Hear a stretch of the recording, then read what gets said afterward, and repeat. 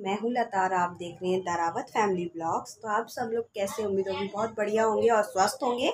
और मैं भी बहुत बढ़िया हूँ और टाइम हो रहा है रात का तो मैंने कहा चलो आज आपके साथ मैं अपनी रेसिपी शेयर करती हूँ कढ़ाई पनीर की। तो मैं आज वही शेयर करने आई हूँ आपको। तो आज पूरे दिन बिज़ी थी केशव के एडमिशन के चक्कर में, क्योंकि आज उसका फॉर्म वगैरह सबमिट करना था। तो उसका तेईस तारीख, चौबीस तारीख को उसका टेस्ट है फिर। तो इसी वजह से लगी तो मैंने कहा, चलो आज आपके साथ मैं अपनी रेसिपी शेयर करती हूँ। आज मैंने बनाई, बनाने जा रही हूँ कढ़ाई पनीर और इस टाइम मैं किचन में ही खड़ी हूँ और मैंने कटिंग वगैरह सब कुछ कर दिए पहले मैं वो दिखाऊँगी क्या क्या कटिंग करी है मैंने, फिर इसके बाद स्टार्ट करेंगे सब्ज़ी बनाना और बस स्टार्ट करते हैं। चलिए। फ्रेंड्स, यहाँ टमाटर मैंने चार या पाँच लिए थे और उसमें थोड़ा काजू का पेस्ट डाला, काटा ग्राइंड किया था और ये लहसुन का पेस्ट और प्याज यहाँ पे तीन और ये भी तीन प्याज है लंबे लंबे काटे हुए और शिमला मिर्च, वो भी तीन काटे थे लंबे लंबे और यहाँ पनीर और यहाँ तड़का मारने के लिए धनिया और लाल मिर्च स्टार्ट करते हैं। तेल मेरा काफ़ी गर्म हो चुका है तो स्टार्ट करती हूँ। तो सबसे पहले मैं डालूँगी धनिया और लाल मिर्च। इसको थोड़ा हल्का सा हल्का सा भूनने के बाद मैं डालूँगी सबसे पहले प्याज। प्याज को हल्का हल्का, ज़्यादा नहीं पकाएँगे, हल्का हल्का भूनेंगे।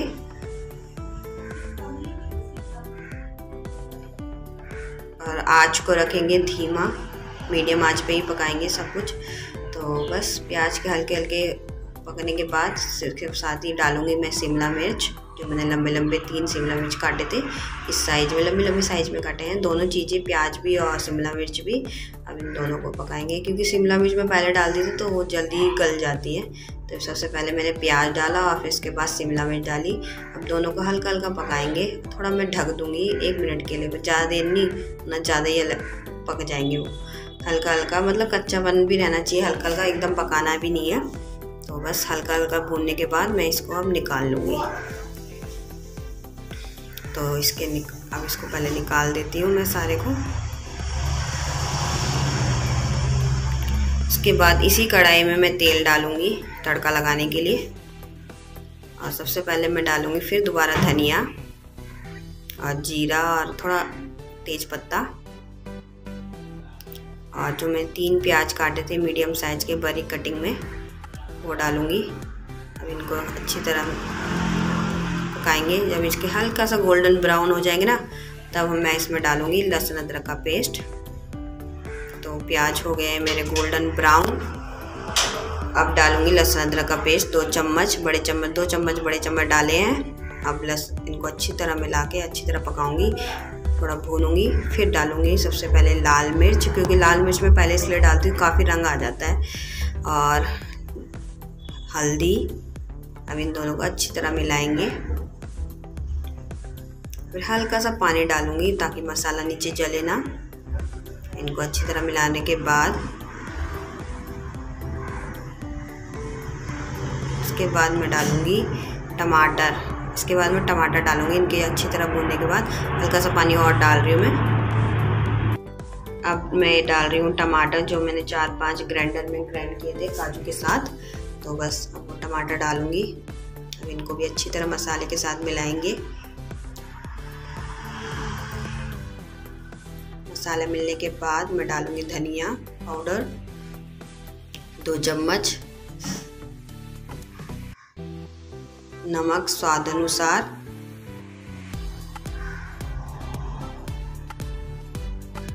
इनको अच्छी तरह मिलाएँगे फिर।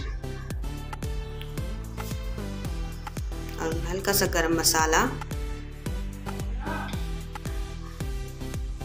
अब इनको अच्छी तरह मिलाने के बाद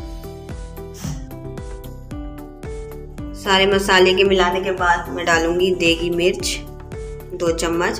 देगी मिर्च से भी काफ़ी अच्छा कलर आ जाता है। तो इनको भी अच्छी तरह मिला लेंगे मसालों के साथ। अब मसाले को थोड़ी देर ऐसे ही पकने देंगे। तो मसाले को मैं पकने दूँगी। एक दो मिनट तक जब तक वो तेल ना छोड़ मसाले को मिलाने के बाद मैं हल्का सा वही काजू का जिसमें पेस्ट मैंने पीसा था ना टमाटर वाले बॉल में, हल्का सा पानी डाल के मसालों में डाल दूँगी ताकि मसाला नीचे जले नहीं और मसाला अच्छी तरह पक जाए। अच्छी तरह पकने के लिए मैं इसको ढक दूँगी। बीच बीच में देखते नहीं, देखते भी रहूँगी कि मसाला पका है कि नहीं पका। और आज को धीमी आँच पे पकाऊँगी। तो मसाला मेरा रेडी हो चुका है। ये देखिए, साइडों में तेल छोड़ दिया मसाले ने। ये आपको दिखाती हूँ मैं अच्छी तरह। तो काफ़ी अच्छी तरह का, अच्छी तरीके से पक गया है मसाला। मसाला मिल चुका है तो सबसे पहले मैं डालूँगी प्याज और शिमला मिर्च, जो मैंने अच्छी तरह फ्राई कर मतलब भुने थे, सोते करे थे। इनको अच्छी तरह मसाले में मिलाएँगे तो एक हाथ से कैमरा पकड़ रखा है और एक हाथ से मिला रही हूँ तो काफ़ी हिल रहा है कैमरा मेरा। सॉरी फ्रेंड्स फिर। तो बस इसको मिलाने के बाद मैंने ढक दिया था और दिखाया नहीं फिर। और ये ढकने के बाद मैंने देखा कि अब अच्छी तरह पक चुका है तो अब इसके बाद डालूँगी पनीर। पनीरों को भी डालूँगी। हल्का और हल्के हल्के हाथ से हिलाना ताकि पनीर की क्यूब्स टूटे ना ना फिर अजीब से हो जाएगा। कढ़ाई पनीर की जगह कुछ और बन जाएगा। तो हल्के हल्के हाथों से हिलाना है और पनीर को भी अच्छी तरह मसाले में मिलाना है। अभी देखो, काफ़ी दिक्कत हो रही है मेरे को मिलाने में। मैं अच्छी तरह मिला के फिर दिखाती हूँ आपको। तो ये मिल चुका है अच्छी तरह। तो अब पनीर को भी थोड़ा मसाले में मिलने के लिए एक थोड़ी देर के लिए ज़्यादा देर दी पर पाँच मिनट पाँच मिनट में नहीं एक दो मिनट ढकेने के बाद। तो बस उसके बाद इस तरीके से रेडी हो चुकी है मेरी सब्ज़ी। तो ये बनाई आज मैंने कढ़ाई पनीर। तो आप बताना कैसा लग रहा है दिखने में?